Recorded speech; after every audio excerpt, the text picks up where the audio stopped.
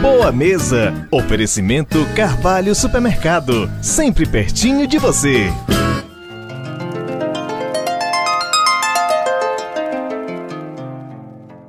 E aí, mais um Boa Mesa para vocês, não é isso?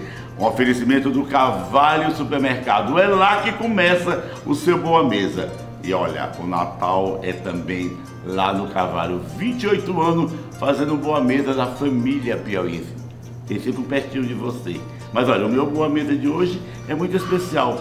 Na próxima quarta-feira já é o Natal, nosso programa de hoje especial do Natal. Eu não poderia deixar de dar aquela dica de como você preparar aquele peru bem bacana, bem diferente para a sua ceia de Natal. E para isso não poderia ser outra pessoa para fazer. A minha querida amiga, a chefe Carme, que é consagrada internacional e todos nós sabemos do amor que ela tem pela culinária. Mais justo, tem coisa melhor do que eu trazer ela para dar essa dica. Amiga Carme, obrigado por você mais uma vez tirar um pouquinho da sua agenda para ajudar o meu telespectador aprender a fazer aquele peru gostoso. Em primeiro lugar, desejar a você feliz Natal, um ano novo bem gostoso para você e para sua família e para os negócios que eu sei que está indo de vento em polpa. Ai, amiga querida, feliz, feliz Natal. Obrigada, Mariana. Feliz Natal para todo mundo. Para todo mundo. E é um prazer mais uma vez estar aqui fazendo esse peru maravilhoso, Sim. mostrar para nossa família, né? E as pessoas já esperam você já fazendo. Esperam. Todo é, mundo já fica o ano perguntando, Carlos, no final de ano vai ser você que vai fazer o peru? É verdade. É verdade. E sempre você traz uma novidade pra gente. Carmen, você tem o que comemorar em 2000 14, né? Foi um ano de muita vitória, né? Com seu, muita conquista. Com, é, com seu restaurante legal, com seu service, com as encomendas. Você tem realmente tem tá na boca do povo. É verdade. A gente tem que é só agradecer, sim, né? Sim. A clientela do dia a dia, você que conhece muito bem nosso ah, estabelecimento e está aqui de portas abertas esperando você e os demais clientes que aí vão vir. Então a gente vai, como é o nome do prato? Como é o nome do peru? Peru à moda da chefe especial. Olha, então a partir de agora, olha as dicas para você fazer o peru à moda da chefe especial. Anota aí, anota. Vamos agora aos ingredientes. Peru de 3,5 kg. Sal a gosto. Tempero em pó. Meio copo de vinho.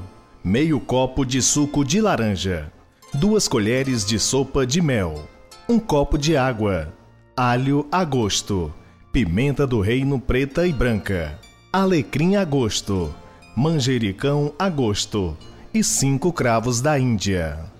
Mão na massa, chefe. A chefe Carmen, premiada, que já esteve na Europa, que leva o nome do Piauí lá fora. Ela vai começar. O que é que nós vamos começar aqui, Carmen? O que é que a gente começa? Vem, vem, vem, vem Mariana, que é o sal a gosto. Sal a gosto. Que eu uso geralmente com um temperozinho à moda da chefe. Sim, sim, Fica ao critério do, do Esse é um segredinho é um seu, né? segredinho, né? É. Sei, sei, Mas sei. o primeiro foi o sal. Sei, sei. Aí alho, pasta de alho. Sei, você vai pra pasta de alho. Eu tô colocando assim, Mariana, porque esse, esse peru ele fica marinando no Ah, ele vai ficar quanto tempo marinando? Eu geralmente eu tempero de um dia para o outro. Sim, nós vamos deixar ele 24 horas, né? Isso. A gente vai colocar ele aqui. Aqui nesse tempero, que aqui é pimenta do reino mesmo, sim, pimenta sim. do reino branca e a preta. Gente, olha aqui, olha aqui, olha aqui. Tá bom. Aqui sim. dentro desse tempero tem a pimenta do reino branca, preta, hum. tem alho, é, duas colheres de mel, hum. porque o mel não tem aquele douradozinho do couro do peru. Hum. Quando você põe esse molho aqui que leva pro forno, hum. muitas pessoas, isso é um segredo que tem que ser sim, feito em casa, porque a pessoa pergunta por que esse dourado do peru ou é mel ou então maionese. Ah, tá. Eu não uso a maionese, mas sim o mel. Certo. É por isso que dá o dourado do couro. Certo. E fica aquele, aquela crocância. Ah, entendeu? Hum. Meio copo grande de suco de laranja. Sei. Meio copo também de vinho tinto. Não tem como dar errado, não. Não tem. Ele vai ficar, ele vai marinar. Vai marinar Ele passa horas. 24 horas desse jeito aqui, aí é que ele vai para o forno. Forno. É isso? Isso. Aí depois de 24 horas, ele vai para o forno. Ele vai para o forno, aí você vai tirar do forno, é para fazer a decoração, não é isso, cara? Ele Ó, fica pré-cozido. Ele fica Depois dele aqui, sair do, da geladeira, hum. você põe o papel alumínio.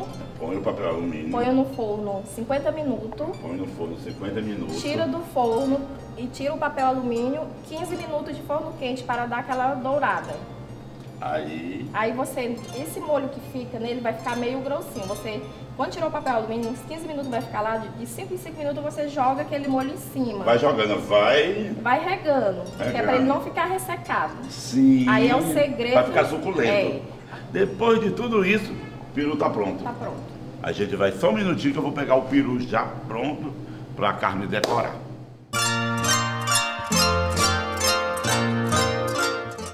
Bem, aqui o peru já tá assado, a Lu já tá aqui também, que trabalha aqui com a chefe Carme. E nós vamos agora fazer aquilo porque é como a Carme sempre fala. A gente primeiro come com os olhos, né, Carme? É verdade. né? Aí ela vai fazer aquele, aquela decoração. Olha o detalhe da decoração que ela vai decorar o peru. A gente vai agora passo a passo para decorar. Carmen, agora é com você. O que, que você vai fazer agora? Colocar ele aqui na travessa. Ai, que legal. Aí, Mariana, como você tá vendo o dourado. Ah, Olha, olha o dourado, aquilo que você falou, né? Isso. Olha aí. Eu gosto de fatiar ele antes, Mariana. Ai, gosta? Porque pra ficar mais bonito o prato, Hum, olha aí, gente. aí aqui você que vai legal. fatiando.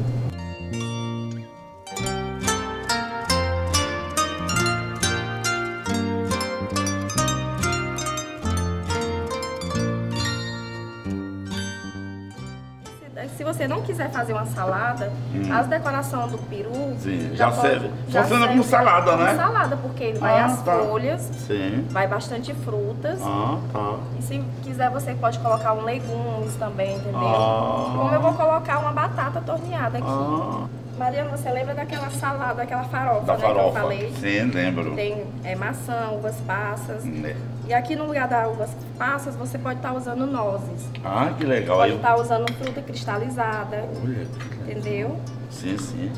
Que é os pratos usados exatamente nesse período natalino que completa a sua mesa. A batatinha que eu olha, falei. Ela vai botando, bo- bota sempre as coisas só num canto, né, cara? É, para não ficar aquela coisa muito espalhada. Só Você pra vocês verem. o Olha aí como é que ó. corta. Olha aí, ela vai cortando. Olha aí. Aí você divide de um lado. Divide de um lado Aí, e ó, ó. Aí faz uma florzinha.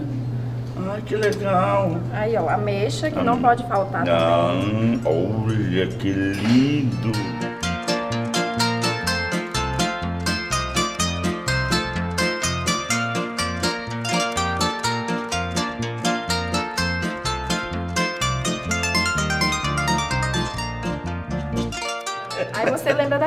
Molho, não lembra? Sim, lembro do Da- molho. Do temperozinho. Do tempero, sim. A única coisa que eu acre- acrescentei aqui pra ficar encorpado Sim. foi um pouco de trigo.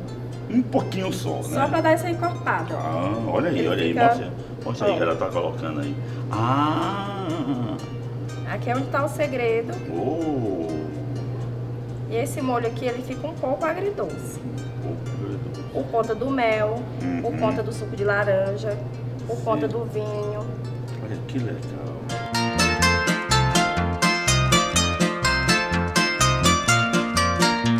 Aqui é a mesa, olha aqui, para você cear no Natal. Olha que lindo. Aqui a Carmen preparou, mas ela preparou com muito carinho. Ela com a Lu aqui, que é a sua auxiliar aqui, que ajuda a fazer tudo que fez aqui. Esse arroz maravilhoso. Eu quero agradecer a vocês, parabenizar pelas profissionais. Obrigada. Dizer que a gente fica muito feliz de ter essa parceria. Todos os anos a gente passa por aqui, vocês recebem a equipe do Sábado Maior também. Obrigada a você. Olha como tá bonita, gente, a mesa, uma mesa farta, simples, né, Carmen? É. Uma mesa que qualquer pessoa, qualquer cidadão tem condição de fazer. Com certeza. Não é isso? Você tem condição de fazer. Olha aqui, tudo legal que a nossa querida Carmen fez. E vocês sabem que durante esse ano todo a gente brincou fazendo é o Boa Mesa, trazendo chefes maravilhosos. Eu mesmo, até eu cozinhando na cozinha da minha casa, com as dicas da Carmen. Sempre que eu fiz aquilo ali, eu quero agradecer dizer de público que isso foi muito legal. Às, às vezes que eu brinquei cozinhando, foi com o seu aval, você me dizendo como era para mim fazer. Isso eu tenho que agradecer a você. Obrigada, eu que agradeço você e de já desejar um Feliz Natal para você, para toda a família piauiense, todos os meus clientes, todos os familiares e a todos que estão em casa nos assistindo. E eles estão sim assistindo.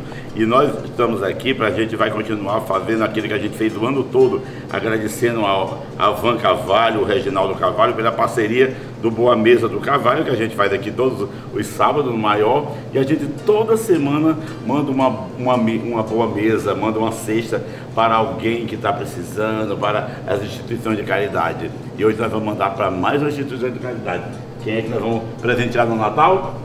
Lá da Esperança. Lá da Esperança. Ai, O maior to- prazer. Tocou no meu coração para Graça Cordeira, essa grande mulher, essa gigante da filantropia do Piauí. Dia 25 eu tô aí, Gracinha, almoçando com você, com todo mundo. A gente vai aquela turma legal. Vamos fazer aquele almoço lindo do Natal para aqueles que são assistidos pelo lado da Esperança. Essa deixa vai para você. Agora eu vou provar, tá legal? Tá legal.